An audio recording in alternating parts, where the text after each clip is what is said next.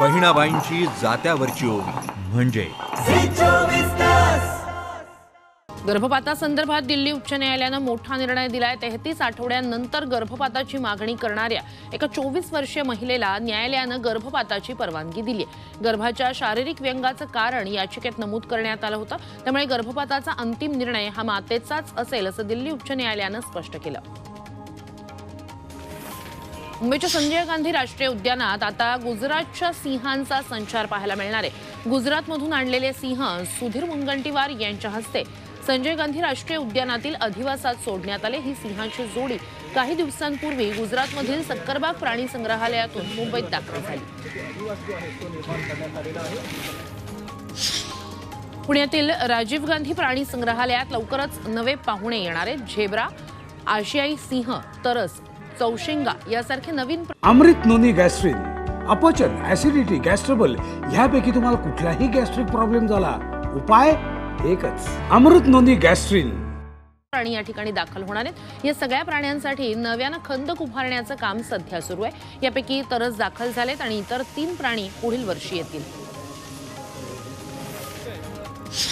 चंद्रपूर जिल्ह्यातील ताडोबांधारी व्याघ्र प्रकल्पाच्या शिवणी वनपरिक्षेत्रात टी फोर ही जखमी वाघीण आढळली आहे. या वाघिणीसोबत नर मादी बछड्यांचाही परिसरात वावर आढळलाय. गेल्या पाच दिवसात चंद्रपूर जिल्ह्यात सहा वाघ मृत्यू पावलेत. त्यामुळे वनविभाग शिवणी परिसरात टी फोर वाघिणीची विशेष काळजी घेत आहे हैदराबादमध्ये भारतातील पहिलं गोल्ड एटीएम सुरू करण्यात आलं. गोल्ड सिक्का या कंपनीचं हे अनोखं एटीएम आहे. या ए टी एममध्ये कार्ड टाकून सोनं खरेदी करता येणार आहे. समृद्धी महामार्गावर नागपूरमधील बायफळ टोलनाका महिला ऑपरेट करणार आहेत. या टोलनाक्यावरील सर्व काउंटरवरची जबाबदारी महिलांकडे सोपवण्यात आली. त्यासाठी महिला कर्मचाऱ्यांना खास प्रशिक्षण देण्यात आलं समृद्धी महामार्गावरील नागपूर ते शिर्डी या पहिल्या टप्प्याचं उद्घाटन अकरा डिसेंबरला पंतप्रधान मोदींच्या हस्ते होणार आहे. नागपुरात दीक्षाभूमीवर डॉक्टर बाबासाहेब आंबेडकर यांचा अस्थिकलशासमोर असलेल्या तथागत बुद्धांच्या मूर्तीचं थायलंड कनेक्शन समोर आलंय.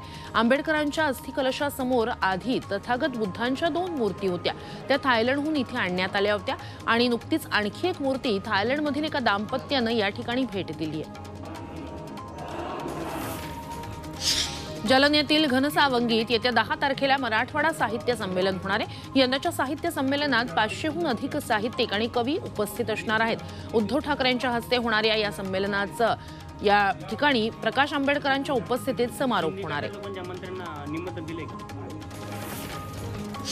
अमेझॉन मेटा पाठोपाठ पेप्सिको कंपनीनं शेकडो कर्मचाऱ्यांना नारळ देण्याची तयारी दाखवली आहे. आर्थिक मंदीचा फटका पेप्सिकोलाही बसलाय. हेड ऑफिसमधल्या जवळपास शंभर कर्मचाऱ्यांना काढलं जाणार आहे. वॉल स्ट्रीट जर्नलच्या एका रिपोर्टमधून याचे संकेत दिलेत. स्नॅक्स आणि बेव्हरेजेस विभागातल्या कर्मचाऱ्यांची कपात केली जाणार असं समजतंय. भाजप नेते किरीट सोमय्या यांनी दापोलीतील विवादित साई रिसॉर्ट प्रकरणी मुंबई हायकोर्टात अवमान याचिका दाखल केली आहे. रत्नागिरीच्या जिल्हाधिकाऱ्यांनी चुकीची माहिती देत कोर्टाची दिशाभूल केल्याचा याचिकेत आरोप आहे. मात्र नऊ जानेवारीपर्यंत रिसॉर्टवर कारवाई न करण्याचे निर्देश हायकोर्टानं दिलेत. राज्यपालांच्या भेटीसाठी एनजीओच्या काही महिला आल्या होत्या. कोशारी दालनात येण्याआधी त्यांनी तिथं मोबाईल फोनमधून फोटो सेशन केल्याचं उघड झालंय. हे फोटो सोशल मीडियावर व्हायरल झाल्यानंतर राजभवनाकडून तीव्र नाराजी व्यक्त करण्यात आली आहे तसंच टीव्ही मालिका अभिनेत्री मायरा मिश्राला कडक शब्दात तंबीही देण्यात आली आहे